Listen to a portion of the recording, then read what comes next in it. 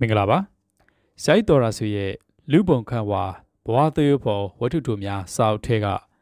ရီးစားဥများနဲ့ပြန်တွေ့ခြင်းလို့မြင်ရတဲ့ဝတ္ထုလေးကိုဖတ်ပြပေးချင်ပါတယ်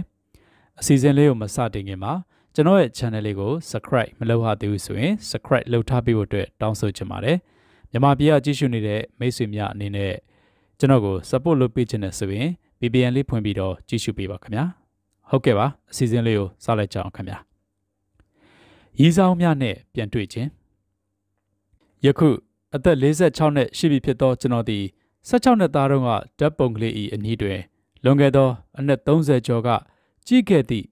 ကိုလုံးပေါ်မှန်ကြီးရှိမှပင်အဝတ်အစားလဲပြီးခေါင်းဖိလျက်ရှိသည်လူမျိုးပေါက်ဆဓာတ်ပုံကလေးကိုကြည့်လိုက်မှန်တဲ့ကကိုရုပ်ကြီးကိုကြည့်လိုက်သူတို့နှစ်ခုသည်တူးတဲ့ဤရုပ်တံဖြစ်ပါတော့လဲအနှစ်30ဒီဟုသောကာလက ခြားနာပြစ်လိုက်ပါသဖြင့်လုံးဝမတူတော့ပါလူယိုပေါက်ကလေးသည်ပိန်ချက်ချက်နဲ့သူ့မျက်နာကလေးကမဝုံမရေရှိပါသည်မန်နေကရုပ်သည်မျက်နာဝဖောင်းဖောင်းနီးဆက်ဆက်နှင့်ကိုယ်ရုပ်ကြီးကို ပြုံးကြည့်လိုက်တော့ဆက်ဖြည်းဖြည်းကြီးနေပါသည်လူပြပေါက်ကလေးသည်ဒီကေဟာဒီနေရာဒီမှန်ရှိမှာပဲဒီလိုနနက်ကြီးထပြီးစောစောစီစီခေါင်းဖြီးအဝက်လဲပြီးလေ သူဤစားများထံသွားဖို့ဖြစ်ပါသည်ယခုကျွန်တော်လဲဤရီးစားဟောင်းများထံသွားမလို့ပါပဲသို့တော့လူပြိုပေါက်ကလေးတုံးကသူရီးစားများသူတွေး၍ရင်တထိတ်ထိတ်ခုန်တတ်ပါသည်ယခုကျွန်တော်မူကားမတ်ချွေစာတွေဘယ်လိုပုံပန်းတွေများဖြစ်နေပါလိမ့်မလဲဟုတွေးကာ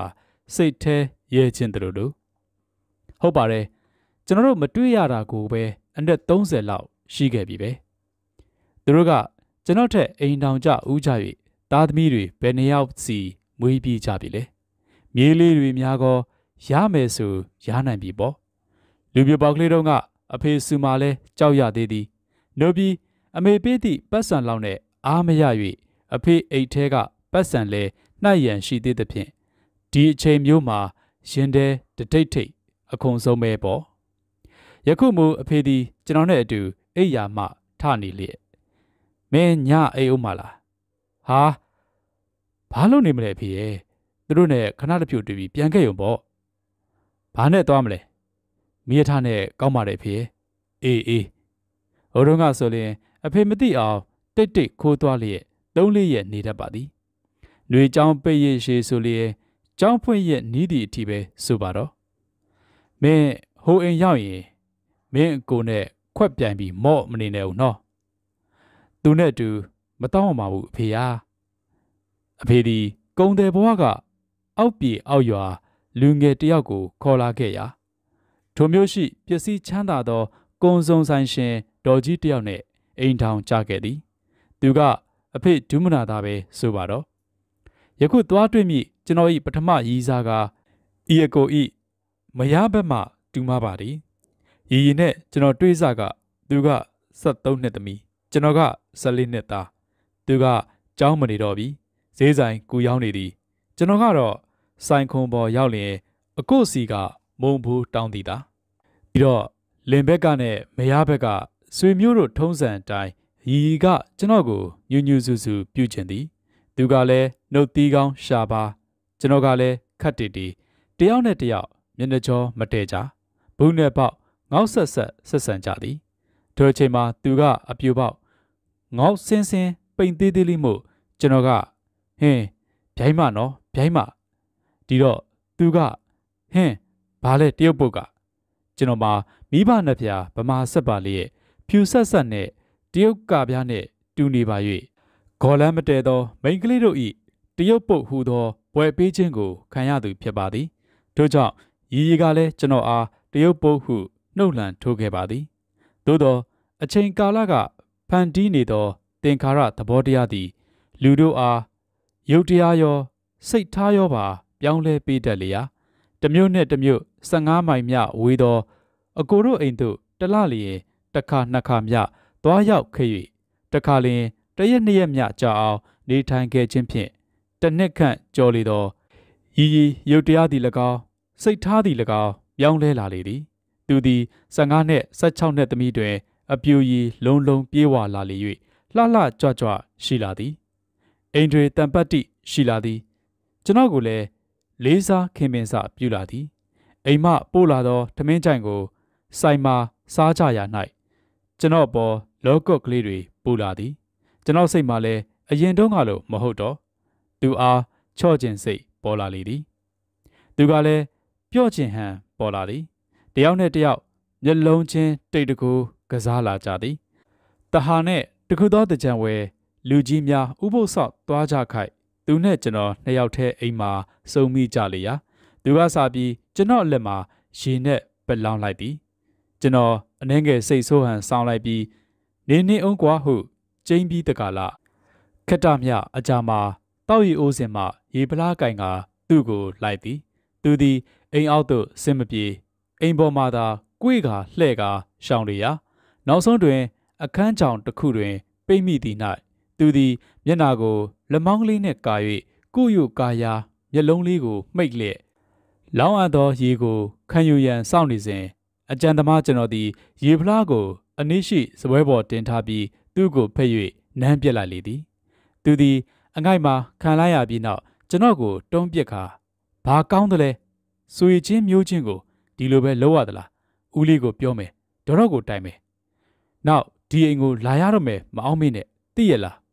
ထို့သို့မြေအစာများနှင့်ကျိန်သည်ကျွန်တော်အဟုတ်မှတ်ခါအခါကျော်မှ ပြန်ပြီးဟုယူလာခဲ့သောအဝတ်စားကလေးများကြပြကတိတိမ်ဆဲပြီးထိုအိမ်မှထိုနေခင်းကြီးမှာပဲလူကြီးတွေပြန်မလာခင်လက်ခဲ့တော်သည်တော်တော်နဲ့မတော်အောင်တော့ပါအကိုစီကအဖေစီများတိုင်စာလာလိမ့်အံလောစိတ်ထက်တထင်ထက်အသက်16ဆက်ခွန်ရှိသေးသောမိန်းကလေးတို့၏ စိတ်နေစိတ်ထားနှင့်ပရိယေကိုနားမလဲရှာသည်ဒီလိုနဲ့တလားလောက်ကြာတော့မှကျွန်တော်အရေးဆွံ့၍တခါသွားသည်အခုမျက်နာနဲ့ဒေါတော့အမူအရာမြည်တို့မျှမပြောင်းလဲသည်ကို တွေ့ရလေမင်းမလာတာတောင်တော်တော်ကြာသွားပါလားဟုပြောသည်ကိုကြားရမှကျွန်တော်စိတ်သက်သာရာရသွားသည်သို့တော့ရီရီကတော့ကျွန်တော်ပေါ်မျက်နာခတ်တင်းတင်းလေးထားသဖြင့်ကျွန်တော်သူ့ကိုမကြည့်ရဲဟိုရခင်က ရီရီဈေးရောက်သည့်အနားမှာသာတရက်ရက်နေခဲ့ရပါယခုမနေရတော့၍အခုဆိုင်ကြီးဤအနီးဝန်းကျင်ရှိပရီလက်ကောက်ရေမွေပေါင်းတာစသောမိမအလှကုန်ရောင်သောအမျိုးသမီးတို့၏ဆိုင်များသို့တွားရောက်လဲပတ်နေခြင်းဖြင့်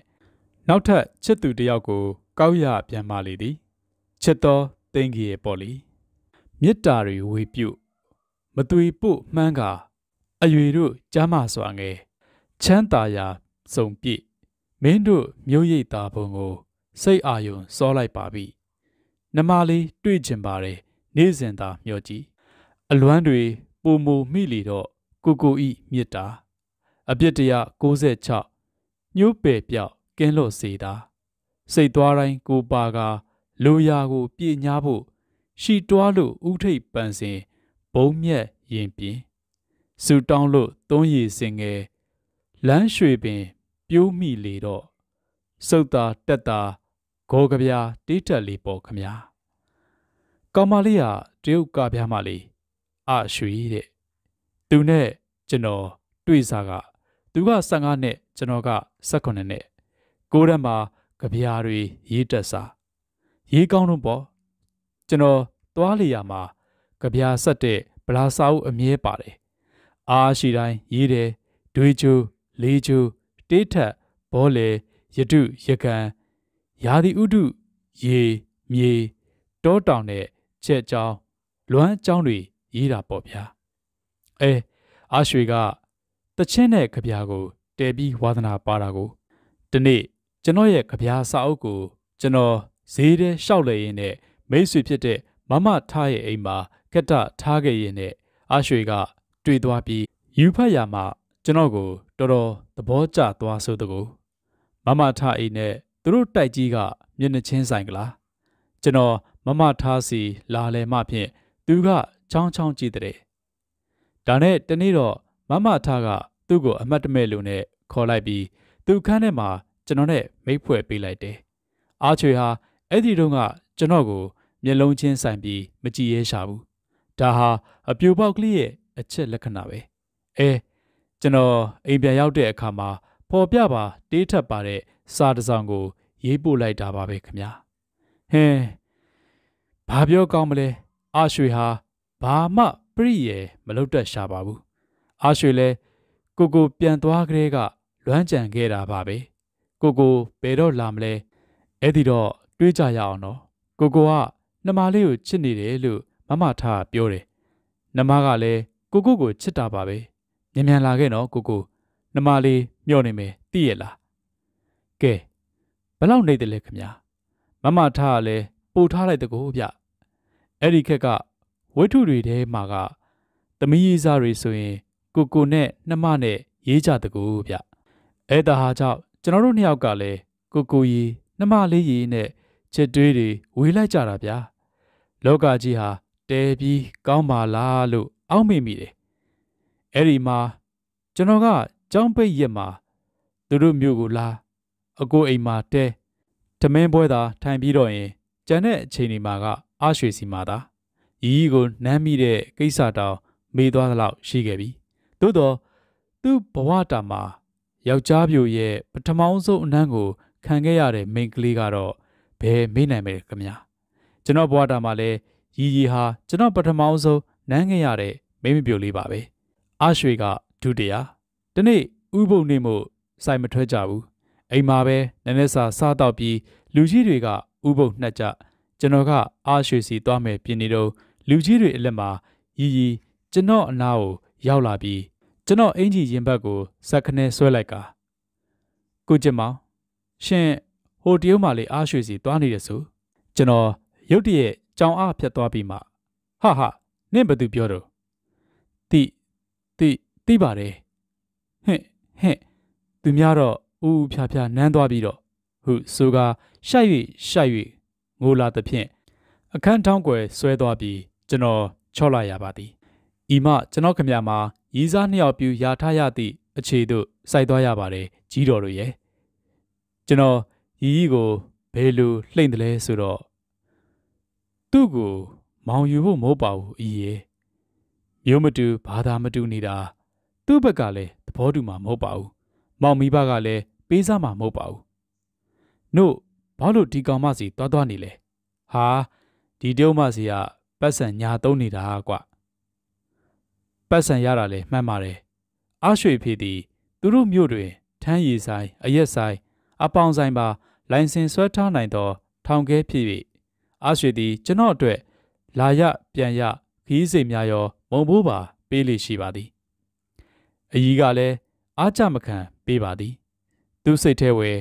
ကျွန်တော်စကားဟုတ်မှန်၍ပိုက်ဆံရှိလျင်အောက်ရွှေစီမသွားဘဲနေလိမ့်မည်ဟုထင်ဟန်တူပါသည်စင်စစ်တော့ဤအချိန်တွင်ကျွန်တော်စိတ်မှာအာရွှေကိုအချက်ပုံနေပါသည်အเจ้าမှာအာရွှေကအတွေ့ရပုံများပါသည်လွတ်လွတ်လပ်လပ်စိတ်ချလက်ချရှိလာသည်ကျွန်တော်နဲ့ရည်စားဖြစ်ပြီးသောအချိန်၌အာရွှေ အတဲသည်သူသမီးစိတ်မချ၍သူတို့ဆွေမျိုးမျိုးပိုင်အိမ်သို့ပို့ထား၏ဒီတော့မှပိုက်ဆံရှင်သောအာရွှေကပြတာလင်မယားကိုဘက်တော်သားလှုပ်လိုက်ခြင်းဖြင့်မြို့ပိုင်မင်းယုံသွားပြီဆိုပါကပြတာဤအိတ်ခမ်းချင်းကလေးတဲ့သို့အာရွှေရောက်လာပြတာကြော်ကသူ့ကလေးချီပြီးတခြားထွက်သွားမြို့ပိုင်မင်းယုံစင်းချင်းရောက်တော့မှအာရွှေကလည်းကျွန်တော်တို့အချက်ယုံမှဆင်းသွားသည် အရင်တည်းကတော့ဒီလိုတီးတက်နေရနဲ့အချိန်မရလူကြီးတွေအလက်မခိုးကြောင်ခိုးဝဲခဏတဖြုတ်တို့ပြင်အားရွှေသည်မိခင်ကကာပြားမှဖခင်ကအဆက်တရုတ်သွေးလေးပုံသုံးပုံဖြစ်တော့လဲမြမာလူထုတဲ့ကြီးပြင်းခဲ့ရ၍မြန်မာစာနှင့်တေးကြပြာကိုမျက်နှိုးသည်အားရွှေအပြူဖြစ်စ14 15နှစ်လောက်ကပင်ကြော့ကြော့မော့မော့လှ၍ကော့ပြန်ကဟူသောဘွယ်ထူးကိုရယူလျက် လူပြိုပေါက်တို့၏ချေးဆိုခြင်းကိုခံခဲ့ရတော့လဲသူမကြခဲ့ကျွန်တော်ကြပြားဆောင်နဲ့ကြမှာကျွန်တော်ကိုကြားချင်းဖြစ်သည်ကျွန်တော်ရေးသောတွေးချိုးလေးချိုးတေးထက်ဘောလေတို့ကိုအလွတ်ကျ၍ရွတ်ဆိုသည်မြမတချင်းကြီးအချို့လဲတက်ဖူး၍အဆူကြသည်အတန်မညံ့ပေအရွှေသည် ကျွန်တော်ရင်ခွင်ထဲနေ၍၎င်းကျွန်တော်ပေါင်ပေါ်တွင်ခေါင်းအုံးနေစဉ်၎င်းကိုရေးသောကြပြားများကို ကိုချစ်သူကြည်နူးစွာရွတ်ဆိုနေသည်များကြားရတော့မြည်မြပီတိဖြစ်မည်နီနေရှိန်ရှိန်ပြိုထီးငယ်ရွှေပသိမ်နဲ့လာချိန်တန်ပေါ်လို့ကျွန်တော်အမျော်ဆိုင်ခဲ့ရာမြို့ပန်ဤခြံဝန်းထဲမှာမြို့ပိုင်အင်ကြီးကလှမ်းခေါ်လိုက်လျင်ကြားရသောပြတာအိမ်သို့အားရွှေသည်ဓာတ်ရိုက်လာရသည်မဟုတ်မြို့အနည်းရှိသူအတဲ့အိမ်သို့ခက်တပြန်မည်ဟုပြော၍ပသိမ်ထီးကလေးစောင်းကထွက်လာရပြီးမှ တကွေးလောက်လှဲ့ကကျွန်တော်ရှိရာပြတာအိမ်သို့နောက်ဖေးဘက်မှလှဲ့ဝင်ရရှာသည်နောက်မြို့ပိုင်မင်းကြီးရုံစင်းချိန်တန်တော့ဒီနေ့တော့ဖြင့်ပြန်နှစ်ပြန်ကမနေ့ကျောမှာစောစောလာနော်လို့ကျွန်တော်မှားလိုက်ပြန်ရာချစ်တဲ့သူရဲ့သူရဲ့တူနှစ်သွဲရွှေလဲရှစ်ပါလို့ဘဲသူတွေဘဲလိုဖြစ်စီတော့မပြတ်တမ်းပါအစဉ်အော်တသက်မှန်းပါတဲ့လှသစဉ်ရဲ့မရရင်ယူမယ်လေ ဖူးရွှေနှုရင်ဒီလိုဘောလေတေးသွားလေးတွေနဲ့လဲချက်အားကြွယ်ခဲ့ကြသည်အဋ္ဌိယူပန်တနံအဋ္ဌိယမိမတို့ဤယူပန်အစင်းသည်တနံဥစ္စာမြည်ဤလို့ကြမ်းခံပါလိရှိလာသည်ကျွန်တော်တို့ယောက်ျားလေးများမှာတော့ပညာရှာအရွယ်တွင်ဟာမှုတင်ကာသာဖယ်မငင်းနိုင်ဘူးငယ်စင်းမာတဲ့အခုချိန်ခါအသက်ဆက်ပြန်တော့ ဆက်ရှစ်ဆိုရွယ်အနေပတနယ်မြေကျောင်းပွေရေးစီတို့မွေးမယ်ဖေကောင်းစီစိတ်ရဲ့နဲ့ကိုနှိတ်ခါတွန်တင်လွတ်လေတော့ဇုံမိတ်ခါပန်းစင်ဝက်ကင်နဲ့ဥညွတ်ခဲ့ပါကျွန်တော်ဆယ်ရက်အောင်လို့ပညာစစ်တင်ဖို့ရန်ကုန်မြို့ကိုထွက်ခဲ့ရအဲ့ဒီအခါမှာမဒီကညာတို့ကအချိန်တန်အရွယ်ရောက်ကြလေတော့သူတို့မိဘများကကြေးရတဲ့တို့ထုံးစံ သမီးကညာအခါမလင့်လိုက်ကြစီပေါ့ခမညာကျွန်တော်မှာကဘဝတာဝမ်းကြောင်းမှုပညာက မပြည့်သေးတော့ဘာတတ်နိုင်သနည်းတချီတမောင်းလောက်လူးလိတ်ဆွေးလိုက်ရယုံပဲပေါ့ဤနေရာမှာတခုပြောချင်ပါသည် အများသိကြပါတဲ့ You can break my heart ဆိုတဲ့အင်္ဂလိပ်သချင်းသူ့တိတ်ပဲအချင်းချုပ်ကတော့မင်းဟာငါအသေးကို မခွဲနိုင်တော့ဘူး။ဘာကြောင့်လဲဆိုတော့ မင်းလိုဟာတယောက်ကငါအသေးကိုမင်းအရင်ခွဲသွားခဲ့ပြီတဲ့။အဲ့ဒီစကားဟာမှန်တဗျာ။ကျွန်တော်အသေးကိုမတ်အားရွှေကပထမဆုံးချိန်ခွဲပြီးပြန်ပြီးကြီးပေါင်းတက်ပြီးကလေးကနောက်ပိုင်းမှာဘယ်လိုမတ်ရွှေစာတွေနဲ့ပဲတွေးလိုက် ခွာပြဲလိုက်ကြံရစ်ဖြစ်လိုက် ကျွန်တော်ဟာတဲပြီးပူပန်တော့ကမရှိလာတော့ဘူးဟောငကန်းသေးငဆွေလာလိမ့်မယ်နောက်ထပ်အသက်ရှာအစားထိုးလိုက်တာပဲ ဘာလဲချစ်တယ်မုန်းတယ်ပြုံးတယ်ရှင်တယ်ပူတယ်နှွေးတယ်ဆိုတာတွေဟာသင်္ခါရတွေကြီးပဲအချိန်ဆိုတဲ့အသက်တာမြေထားခီးကြီးကြီးမှာအကောင်းလဲတွေ့မယ်အဆိုးလဲတွေ့မယ်အိတ်ချင်ပြေကလေးနဲ့အစင်သင့်လို့အကြည်စိုက်ချင်လဲစိုက်ရမယ်ပေါ့နောက်ဆုံးပိတ်မရဏဗုဒ္ဓကြီးမရောက်ခင် အစာဝအောင်စားရမယ်အင်္ဂိုင်မနေပဲနားမျက်စိဖွင့်ထားရမယ်ဥဟူ ဟူဟုတ်ဟုတ်မဟုတ်ဟုတ်ကြွိဟောကျွန်တော်စီးလာခဲ့တဲ့မိရထားကြီးဟာကျွန်တော်ရီးစားဦးများရှိရာမြို့သို့စိုက်ပြီးကောကျွန်တော်လက်မဆွဲကင်စရာဘာမျှမပါအုတ်ထုတ်ကလေးသာခေါင်းမော်ဆွပြီးဆင်းခဲ့ပါသည်ဟိုတုန်းကဆိုဘယ်ဒီလိုဟုတ်မတော့ကြပြားစာအုပ်နဲ့နှစ်ရက်သုံးရက်နေဖို့အဝတ်အစားတွေနဲ့ရေမွေးပေါင်တာခေါင်းလင်းစီတွေပါတဲ့လွယ်အိတ်တစ် လုံးနှုတ်ပြီးမောင်းလာပြီးတင်ကြီးကြော့ရဲစီးကျူတော်လေးဟူသော အမာစာပေးထား၍မတ်ရွှေစာတို့ယထအဝေါ်တန်နာခံ၍မျောနေကြပြီယခုတော့သူတို့သည် ကျွန်တော်အားဖုတ်လေသည်ငပိရှိတယ်လို့မှအောက်မေ့ကြပါမည်မဟုတ်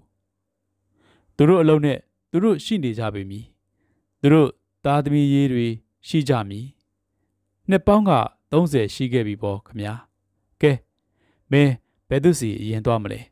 နှစ်ယောက်စလုံးကတော့ဈေးဝင်နေရှိကြမှာပဲထင်တယ်ကိုကိုကိုမေးလိုက်သည်အိုးဘယ်သူမှအရင်ရဲလို့ဘယ်သူကိုမှပူတွေ့ကျင်တယ်လို့မဟုတ်တော့ပါဘူးအစင်သိမ့်ရပေါ့နှစ်ပေါင်းများစွာခြေမချခဲ့တာကြာခဲ့ပြီဖြစ်သောတာလမ်းမပေါ်ရှောက်ခဲ့၍ဈေးဝင်းထဲရောက်ခဲ့သည်ဈေးအနေထားမှာဟိုတုန်းကလိုမဟုတ်မူ၍ဓာတ်ရိုက်မတော်နိုင်ပါ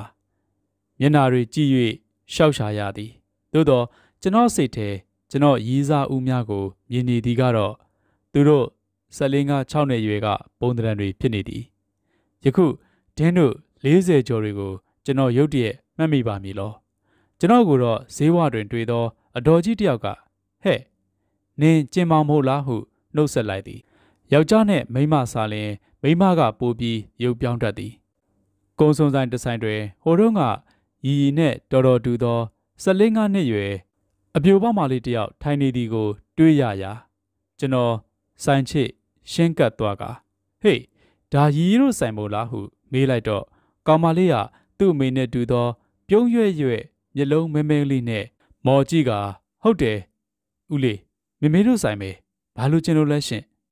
ဈေးတဲ့သမီးပီပီတွက်လက်ပါပြီမင်းတို့မေမေနဲ့တွေ့ကျင်လို့ပါကွယ်သူမရှိဘူးလား အခုလာပါလိမ့်မယ်ဦးလေးရဲ့အပြေခဏထွက်သွားပါတယ်ဟောဟောပြောရေးဆိုရင်ပဲလာပြီဆို၍သူ့ကြည့်ရာလှဲ့ကြည့်လိုက်တော့အသက်40ကျော်ကိုလုံးကိုတဲ့ခိုင်ခိုင်တောင့်တောင့်မိမတယောက်ခံတောင်းတစ်လုံးကတဲ့ခွင်ရိလာနေသည် ကိုလုံးကဟိုတုန်းကနဲ့လုံးဝမတူတော့ပါတကား